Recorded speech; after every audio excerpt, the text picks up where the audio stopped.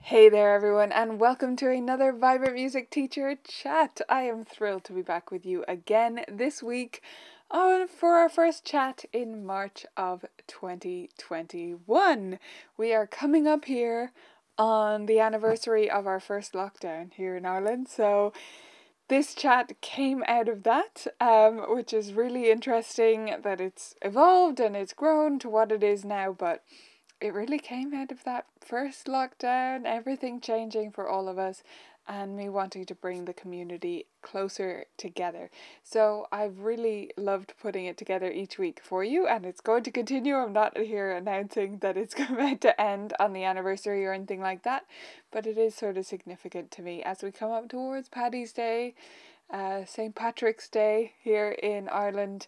That yeah, it it's a going to be a full year, um, and it may have already been a full year for some of you in different parts of the world wherever you're joining us from, whatever the state is where you are right now, you are very welcome here. And if this is your first time joining us, a very special welcome to you. This is the weekly show where we get together as a community whether you're watching live or that doesn't suit and you're watching the replay, this is the weekly show for you if you want to catch up on the latest music teacher news and resources and fun stuff that's coming up and get excited about your own professional development. We also dive into a weekly topic, a special topic each week, and today that is solfa or solfege. We'll deal with that in a moment, but we're talking especially about solfa in the piano studio today. And we're also going to do some great web reviews. Um, and we'll have our Ask Me Anything section at the end. If you're watching live, here's what you do to ask me any question at all. Just type the word question at any point during this session and ask me anything you like. I would love to answer your questions, help you in whatever way I'm able to, to the best of my ability. Um, Welcome to everyone joining live. Oh my gosh, so many lovely comments coming in. Great to see you all here. And if you haven't said hello yet, please do. And if you're new to me, I should say hello too, shouldn't I? So, uh, my name is Nicola Cantan. I'm a piano teacher over here in Dublin, in Ireland, and I run a site called Vibrant Music Teaching and a blog called Colourful Keys where I share resources as well as this YouTube channel where we all come together each week for our live show about all things music teaching. And with that, let's dive into the latest music teacher news. Okay, so this week in my personal update, what I've been working on. Number one fun thing for me all week is I've started getting some of the Turbo Boost sessions coming into me from our guest presenters. And if you're not familiar, if you haven't heard me talk about this before, Teacher Turbo Boost is the place to go to learn more about this. This is going to be a five day retreat, online retreat for teachers at the end of this month. Now I can say that because it's March. So at the end of this month, we're going to be getting together for five days, three hours a day, five days. So it's like a camp or a little retreat for teachers. Every day there'll be training and thought provoking sessions on a specific area, and there'll be daily Zoom calls where we all get together to discuss what we're learning during the day in a really productive and supportive environment. So I'm really, really looking forward to that session. And even more so since I've started getting in these sessions from the guest presenters because I get to watch them obviously ahead of time, need to make sure I know the, what's going on and what's in their session and everything like that. And then we're going to be watching them together during the Turbo Boost week. And these are just, they're so interesting yeah, I'm not going to give anything away, but I've really enjoyed them and I'm just getting more and more excited to share them with all of you. So if you haven't signed up, that's where you go, teacherturboboost.com, and I'd love to see you there. And any questions about that, you can just let me know. Aside from that, I've been doing some other fun stuff. So, yesterday, I recorded an interview with Glory St. Germain, who is putting together a summit called the Global the Global Summit on the Healing Power of Music. So you can watch out for that. It was a special interview. It was quite fun because it was me and Glory and Rami Bar Niv. Neve, mispronounced his name, Rami Bar Neve. And uh, it was really interesting to get to connect with Glory, who I've met several times, and Rami, who's more new to me, and just talk about what music can do to enrich our lives and, and what it can do for our students. So that was really, really fun yesterday. Otherwise, I've been working on the Student Sleuth, which is a new feature we're rolling out to Vibrant Music Teaching members and it's getting pretty close actually. So I'm not going to give you a date yet, but I think it's going to be only about a fortnight from now, about two weeks. That's what I'm looking at right now, and that's going to be a really powerful tool that's going to allow teachers to assess where a specific student is at, how they're tracking in terms of where students of their age and stage would generally be. And it's not an assessment in terms of an exam like you get an A, you fail. It's about saying, oh, we're going pretty well in this area, we're not going through so well in that area, or maybe we need to spend some more time on games uh, with rhythm or whatever it is. So it's a way to step back and look at the whole picture of your student and how they're developing because we get so caught, don't we, in the nitty gritty details. Let me know if you ever fall into that trap because I certainly do. I look at this one issue a student is having. They're not tracking the music, right? It's something as nitty gritty as that. And I'm just so not irritated by it, but irritated by my own ability to solve that problem at times that that is almost how I see that student. And I have to make a conscious effort to step back and say, no, they're all these other things. They're doing all these other things. I'm providing all these other things to them. And that's just one area where they're struggling and yeah i need to support them better but mostly they're doing okay. So the student sleuth will help with that and a lot of other cases where you need some reassurance or to see where your student is doing well and where they need more help. Um, and otherwise in my studio news what i've been doing for the last week that's a bit different is I've been introducing our latest composing project to my students. So every year we do one composing project in my studio um, around this time, and it takes us like eight weeks ish normally. So I like to introduce it around this time so that it's fully wrapped up before the concert, um, which will be in May. And no, it doesn't take the whole of our lesson time for all eight weeks, but it, we're working on it in the background for all about two months. And so this week was when I introduced the new composing project to my students. And this year they're going to be writing songs. And the way it's going to work is one student is going to write the lyrics. So everyone's going to write lyrics for a song, a short song. I've told them to think about like a folk song. We're not trying to aim for like a full pop song here, but they can if they run away with it. That's great. But we're aiming at like a folk song length, right? So it's 4 to 12 lines. It's like a short poem. And they're all going to write that this week. And then I'll take them back in and I'll wait for the late stragglers. And then in a couple of weeks is when I'll be passing them out to different students. So Johnny writes such and such a poem, and I give that to Angela, and Angela writes such and such a poem, and I give that to Derek, and so on and so forth, right? So everyone gets back lyrics from someone else, and then we're going to compose the music for that. And this is going to be a project that we're going to release inside Vibrant Music Teaching once I've road tested it.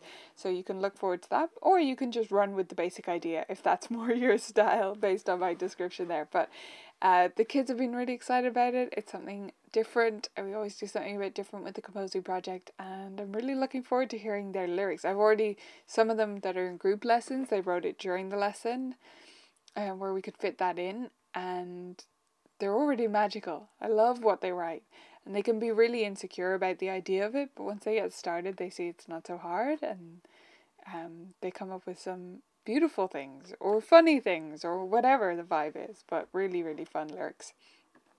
Outside of my personal sphere, um, I wanted to mention that Joy Morin of colorinmypiano.com is celebrating her 12th year of running that blog. 12 years. Absolutely epic. So I wanted to congratulate Joy first of all.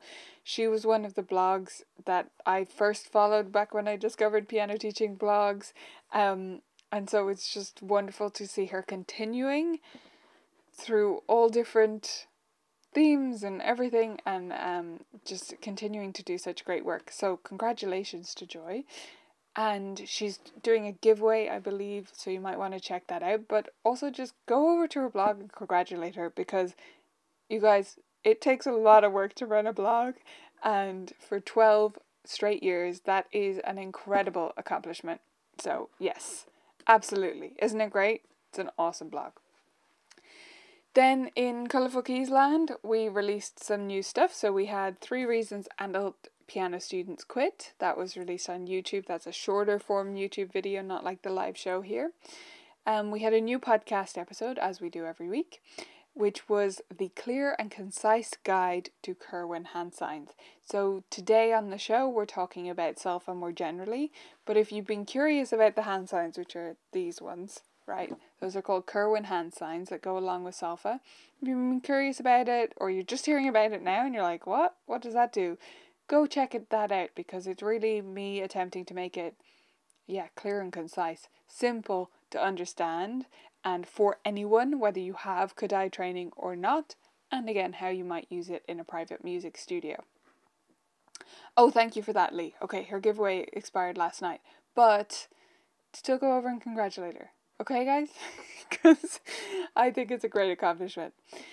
Then we had an update on our voting paddles and um, post, which is about ear training and stuff. So lots of great feedback on that already. It was due an update. And yeah, I wanted to remind you as we head into ear training this month and wrap up our theme of last month um, about our hub pages which are on the Colourful Keys site. So if you're a fan of the blog, you still might not have found these yet. So this is uh, the Colourful Keys site. If you haven't been before, welcome. But if you click on hubs in our new menu structure here, you'll see business, creativity, music theory, etc. And you can go to any one of these topics, and they're not just blog archives where there's all our different posts on that. They're actually curated, organized pages. That's what the hubs are. So here I'm on the music theory page, as you can see, um, because I wanted to mention our further resources on ear training uh, based on today's topic. So that you can jump to different parts of the page here. So if you click on ear training, it'll jump down and you can see our most popular posts that really give you a grounding in the area of ear training. So just if you are looking for to read more after today, that would be a great place to check out or in any of those other areas of course as well. Right, with that, let's get into our sneak peeks at what's coming up next. Right, so next week on the show, right here, we're going to be talking about ear training games for online lessons specifically. I know many of you are still teaching online, so I hope that this will be useful for you. That's going to be a really fun one, and always love to talk about games, so I'm really excited to share those with you next week. And then for members, as I said, the Student Sleuth is about to release in a couple of weeks, probably. And then after that, we'll be coming up to the teacher turbo boost. So that is on the 29th of March is when that starts. So if you haven't checked it out, do it now because honestly, a month flies by, doesn't it? That's the length of February. Didn't February just disappear? Yes, it vanished. Maybe it dragged for you, but I think it vanished for most of us. um, those few days do make a difference. So that is on the 29th. So it's the length of February away. Definitely go over and check it out. Purchase your ticket or just bookmark the page to check out more details about it or ask your questions of us now so we can make sure to get back to you in time and you have um, the ability to sign up. Barbara, great great question. What's the difference between Colourful Keys and VMT? So, Vibrant Music Teaching, or VMT, that is our exclusive membership site. You have to be a member to access resources on that. and the resources that are available are very different. Um, that's where all the games are, that's where all our full courses are, a lot more videos than we would have available publicly, and it is also organized differently. Colorful Keys is two things. It is a site that houses both my studio information for my local Dublin studio, that's the name of my studio, and the blog, which is the free resources. So the blog is all available publicly there, um, but that's all that you get for free is those blog posts with the podcast. And then if you want to dive in further, Vibrant Music Teaching is the place to go for those really actionable resources and courses and all that training. So hopefully that clarifies for you, Barbara, but let me know if you have any further questions about that. Right, so let's dive in to our main topic, which today is solfa.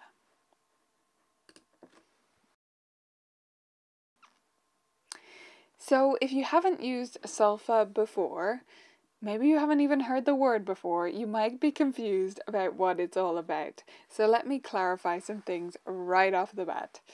You do not have to have detailed Kodály or Dalcroze or any other specific training to use solfa in your music studio. It is absolutely not necessary. Now, do I think that Kodály training isn't useful? No, absolutely not. I'm just saying you can use this tool no matter who you are and what your background is. Solfa, sometimes known as solfege, although those are really different different words, so I'll use the solfa the term solfa right here, is the system of singing in do, re, mi, fa, sol, la, ti, do. Now it is different from what we call fixed do solfa or fixed do solfege. So let's get that clarified right off the bat as well. Movable do solfa is what I use and what I'm talking about in this video. Fixed do solfa is really a different way of naming notes. So if you think about what you might call C, D, E, someone using fixed do will call those do, re, mi. That is their name for those notes. Movable do solfa is movable. It's based on the scale degrees. So do is always the tonic of a major scale. It is the one of the major scale. So it could be C, but it could also be D flat, it could be G, it could be anything. It is just the start of the major scale, and everything else moves along with that. So now that we've got that clarified, how might you actually use this tool in the studio? Is it just about singing the sound of music together? Not quite. So, I'm going to share with you seven different ways that I think you can use solfa in your studio. These are not the only ways. So, I would love to hear your ideas as well in the comments, but I'm going to share with you seven to get us started. Number one is singbacks. Very simple. This is just where you sing a short pattern in solfa and your student sings it back. If you want to add the hand signs to this, that can be a really useful addition. This is really useful for getting students singing, which helps to train their ear, and it can provide a great warm up for your music lessons to switch on their ears and switch on their thoughts about listening properly actually listening. Wouldn't that be wonderful? and it can also help de- develop their sense of pitch, yes, but also their sense of mel- melody and phrasing and all of those things if you build that into how you sing to them. It can take literally one minute, back and forth, back and forth, and then it's done. Simple, and maybe something you already thought of. That's my first idea for using solfa in the piano studio. But here's the thing I'm hoping that these seven are going to get less and less usual as we go through. So, number two is Who Am I? This is where we play or sing a short pattern in solfa. So, for example, do, re, mi, just three notes. I sing or I play do, re, mi, and then I play one of those and I ask my student to do an action that matches. So before we start, I tell them, okay, imagine we're in an online lesson. So, okay, do is this, re is this, and mi is this. Whichever one I do, you do the matching action. And then I'm playing do, re, mi in different keys, and they have to play, uh, do the action for the last note that I did. Does that make sense? Are you following? So I play do, re, mi as C, D, E. Sorry for anyone with absolute pitch. I'm sure that's not C, D, E. And then I play re. And they have to do this because that's what we decided re was. So again, simple, quick, easy. But it helps students to tune into that note within that key. And over time, you can start to make it an interval at the end.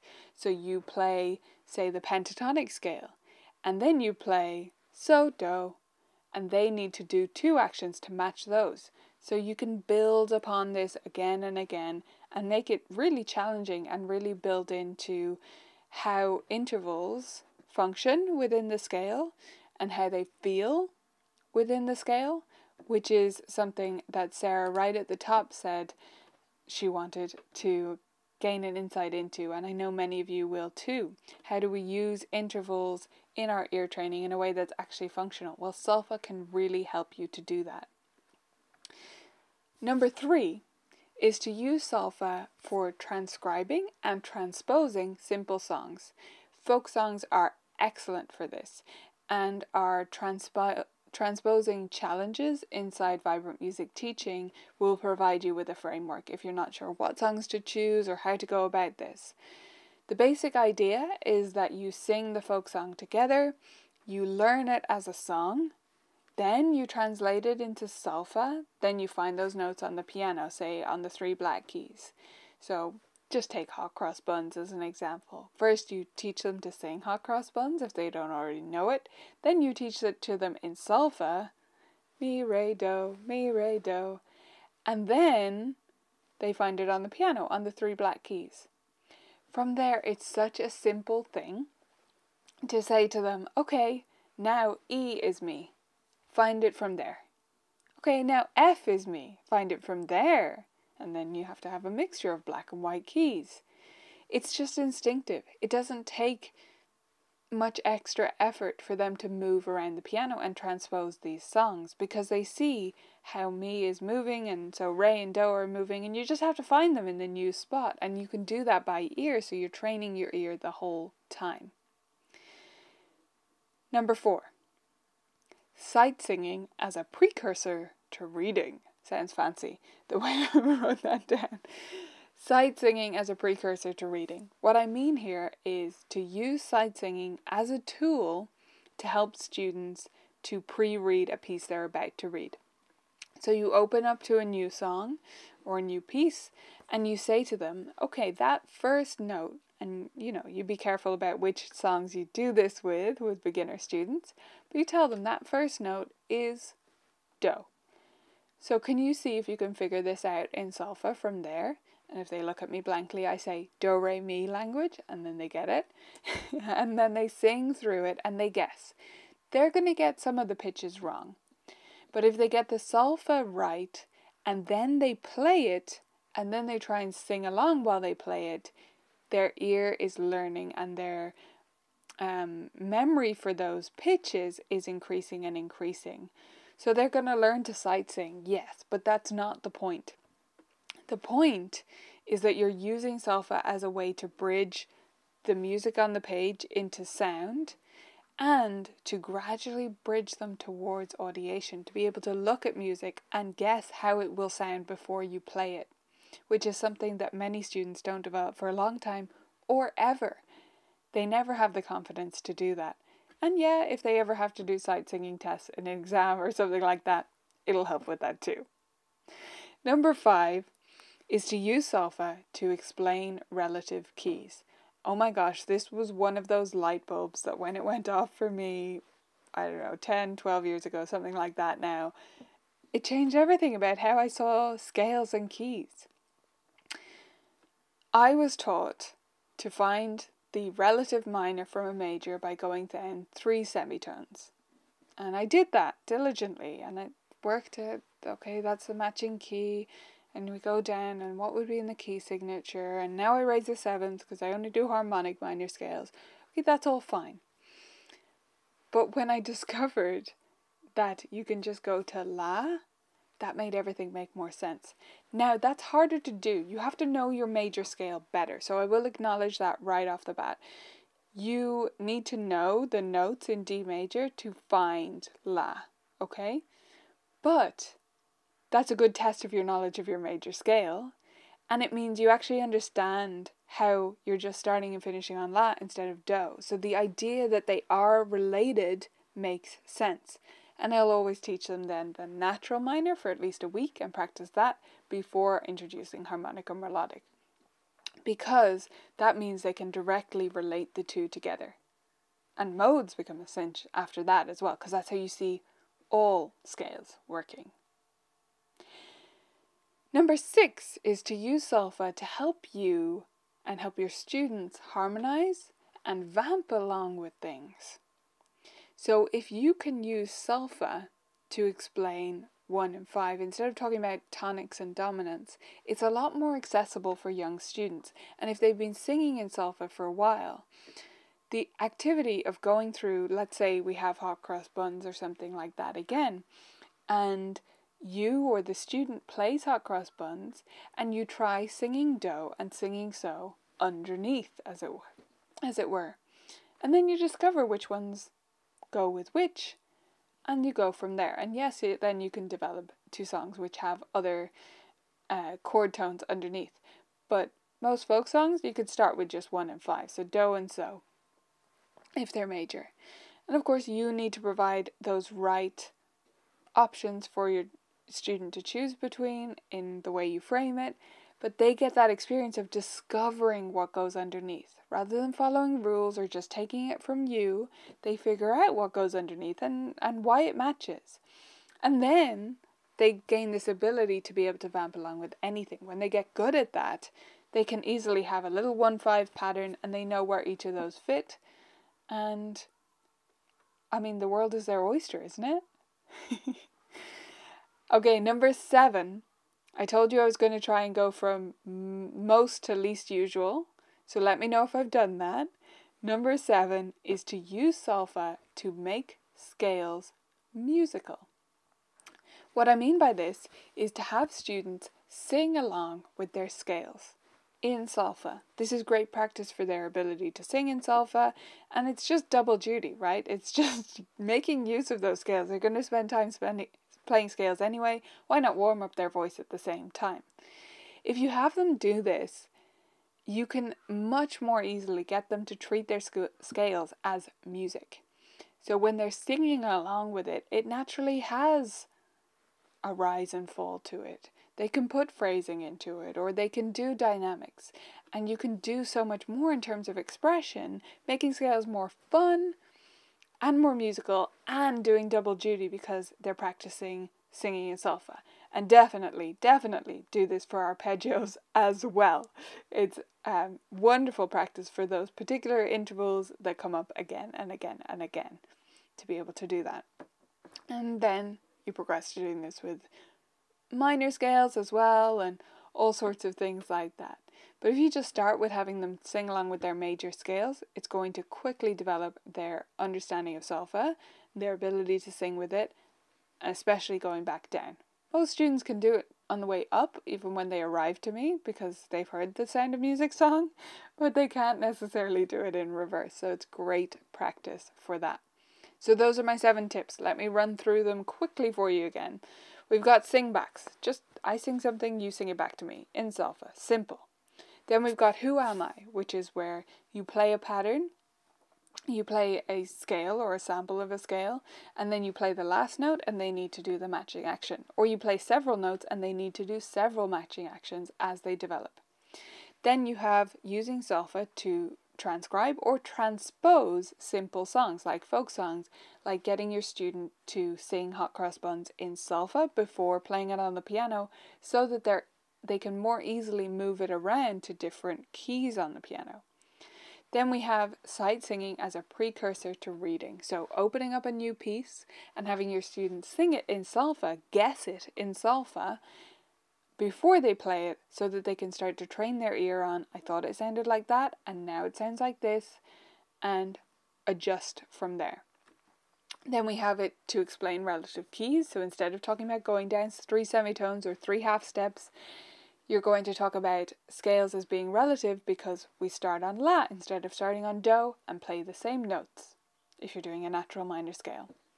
Then we have it for harmonizing and therefore vamping, getting your student to sing one and five or do and so, along with you singing or playing the uh, melody in solfa or just playing it on the piano and have them harmonize it and then build up simple vamping patterns that they can use to transform any music. It'll be a great party trick.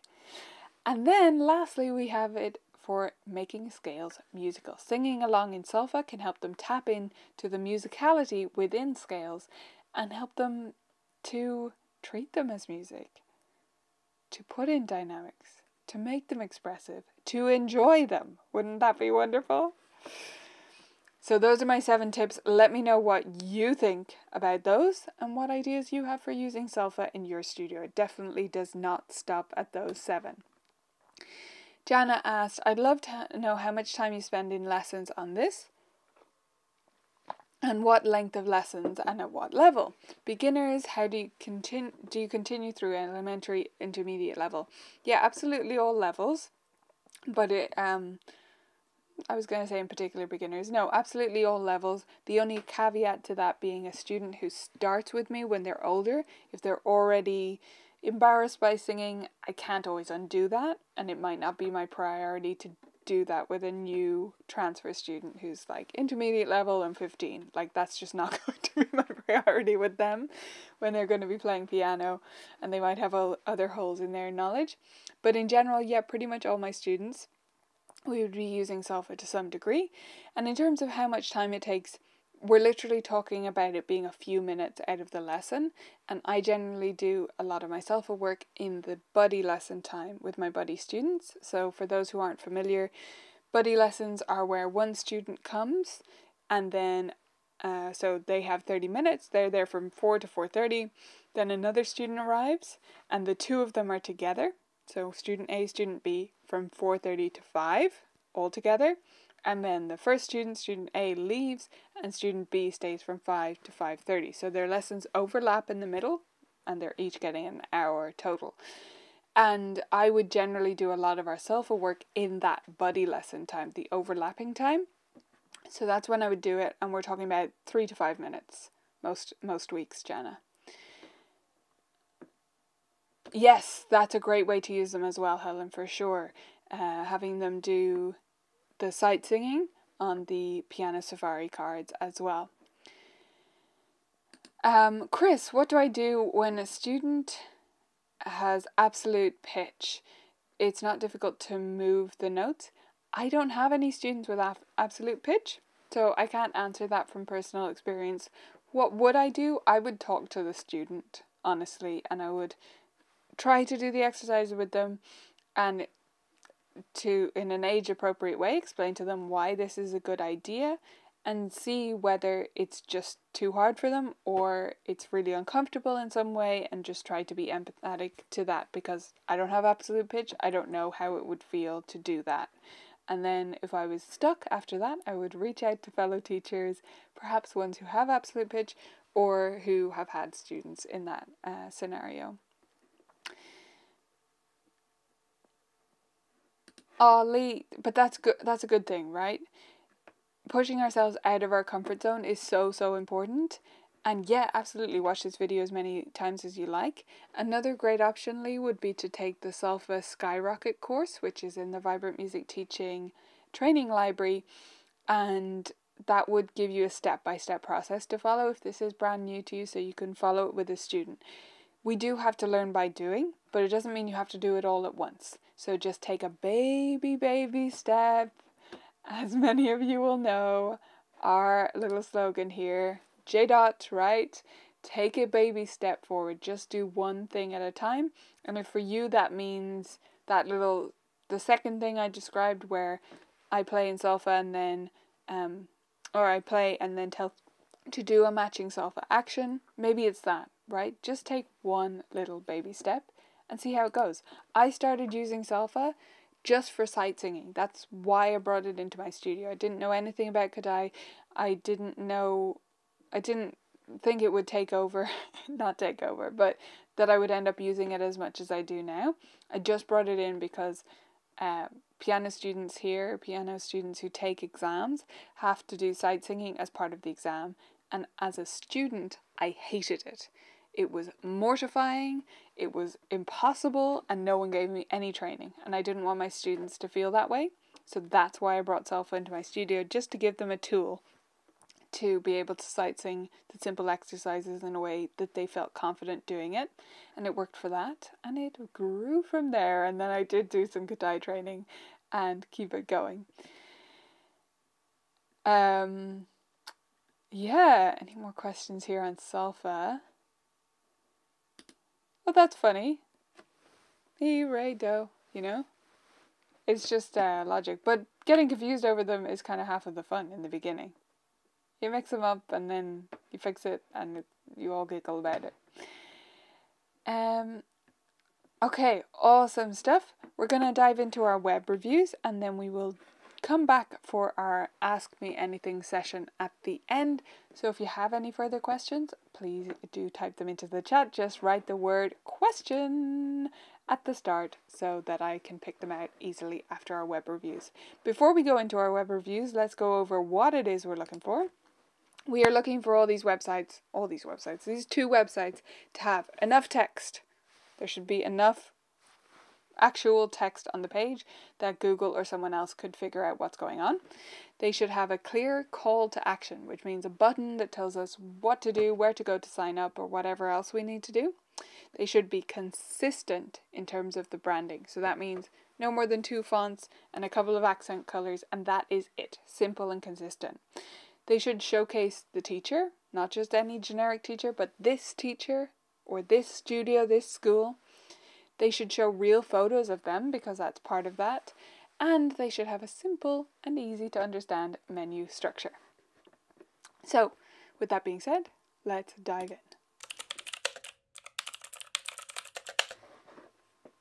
Okay, so first website here is Musica Studio.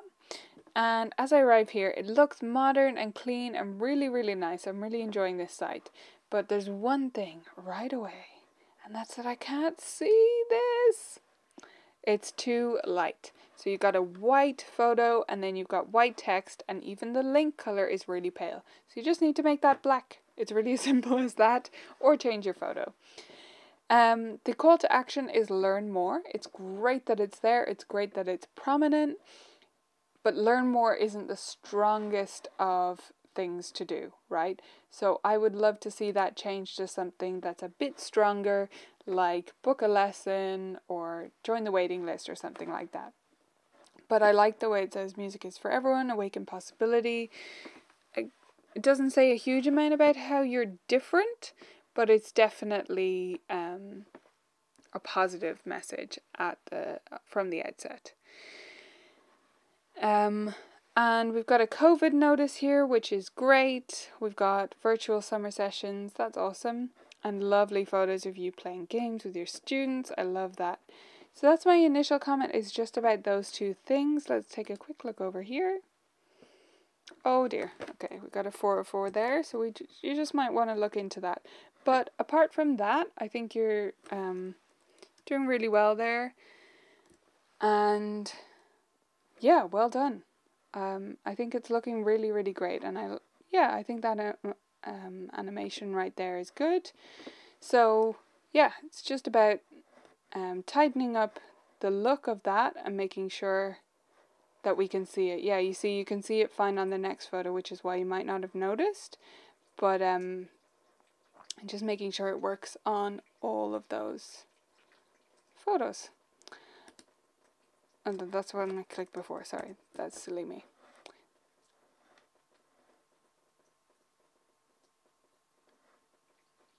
Get enrolled. Oh, okay, there's a few of those, so you might just want to look into that um, and the other thing we mentioned there. Let's look at our other site. We've got Linda Gaines Piano Studio here. So for Linda Gaines, we've got um, a nice photo here. I would love to see something a bit more personal as the main photo for both of these sites. Less stock image looking and more specific to you. But I really like this tagline here creative approach to online piano lessons. Um, so it's really clear that you're teaching online and that is a positive experience for you and your students. Learn more is the call to action again. So I prefer something stronger for that, something that I really want to do. That's the point here is learn more doesn't really make me say, yeah, I want to learn more. You know? Uh, just something a bit more action focused. But I like the look of it. Um, it's well styled, a couple of different colors. I'm not sure about the contrast here. I might just make that text white just in case. And if you can get a photo to add to that testimonial, that would be great too. Um, but everything else is looking great there, Linda. Let's just take it, check out the online lessons page. Again, just a bit of a, a stock image. If you can get some, like this is so much better, right? Because I can really see my child in that scenario. I don't have a child, but you get what I'm saying. And the games, oh my gosh, this all looks great. Yeah, just those header images that I would question mark.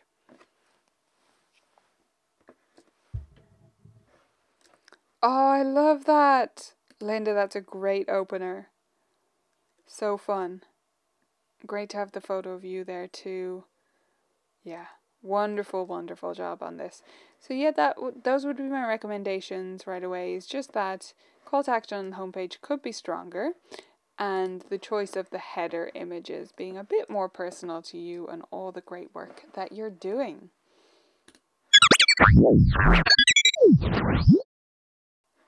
Right, folks, let's check in with our questions, see uh, what's going on. Lee, that's that, that's lovely of you to say. Thank you. Um, giving your students a gift in this sight reading was difficult for me in college since I hadn't done it before and we didn't use Solfa. Yeah, I I mean I was never taught it, but uh, it's sight singing is just it's so embarrassing. Uh, that's the main emotion associated with like it was embarrassing isn't strong enough. We would say mortified. You, is that an Irish thing saying mortified? But anyway, mortified. Crimson in all of my lessons where I had to do that, but uh, just because I didn't have any training and I thought I was supposed to instinctively somehow know how to do this, and of course I didn't. Um, checking for the questions. I know I saw some there. Okay, Melissa, um, at what age does introducing Solfa make sense? Three, two, not two, because I don't teach two-year-olds, but yeah, three and up, all the way through. Um, no lower or upper limit on Solfa there, as long as you can convince them to sing with you at all. So that's why I caveated about the 15-year-old earlier. Lydia, could you address what to do when a student has a very hard time matching pitch with their voice? Basically, can't sing in tune. Yeah. Okay, so assuming they are willing to sing with you and they're not embarrassed about it, that's great. So, the first thing to do is sing with them. Don't just play with them, sing with them. It's a very different thing to match someone else's voice that is like with like than match your voice to an instrument. That's a different thing. So, first of all, make sure you're singing with them rather than playing with them. Do lots of singing, even though they seem to drone, or maybe they even speak, have a bit of a speaking voice instead of a singing voice by mistake. Just keep singing, right? And then, one really useful exercise, or a few, general vocal exploration is really important for a student like that. So doing lots of whoa and following different shapes. You can just draw lines on a board and they can follow them with their voice. So practicing going up and down. And then uh, doing sirens up to a pitch is really useful. So you can demonstrate this for them and then try it together even to match the piano. So you have a note and you sing you try to sing from the bottom of your voice up really slowly and stop at the note, right? So you have a note playing or you're singing it and they have to go, oh, right? Try and climb up with their voice until they find the pitch and get used to that feeling. That's going to take lots and lots of iteration and practice, but that's really useful for those students who really struggle. Um, my question for you though, Lydia, would be the age of the student because if they are on the younger side, it's often later than you might imagine that students actually learn to sing at all and match pitch at all, and all they need in that case often is emergent, just lots more singing. I'd say up until age eight or nine, I wouldn't be surprised if they haven't found their singing voice. And then after that, I'm starting to think, okay, we need some more specific stuff going on here.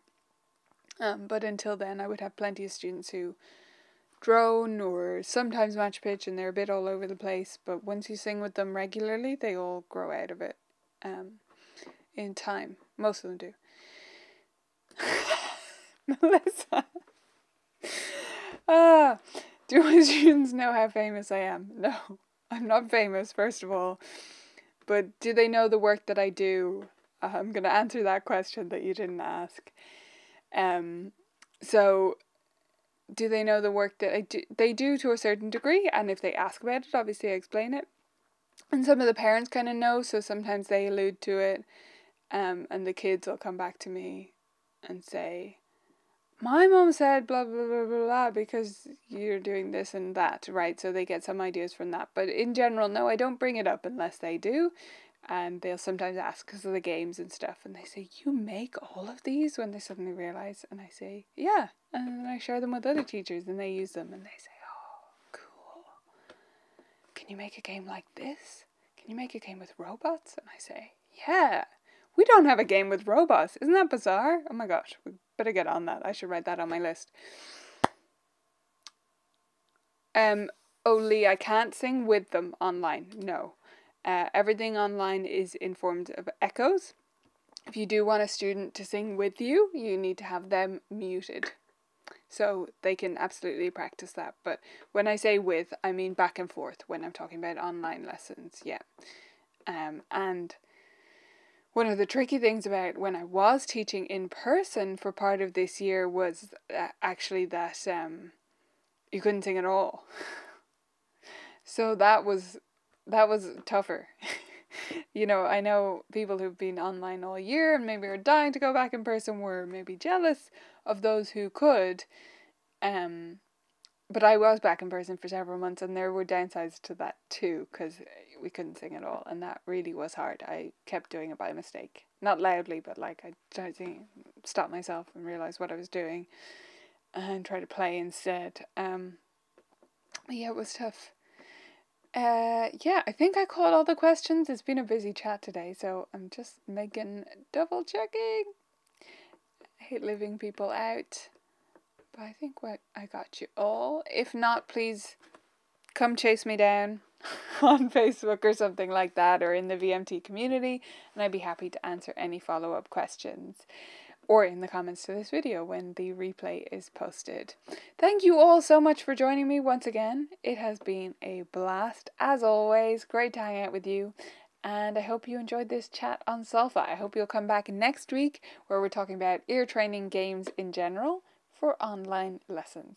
I'll see you there. 음.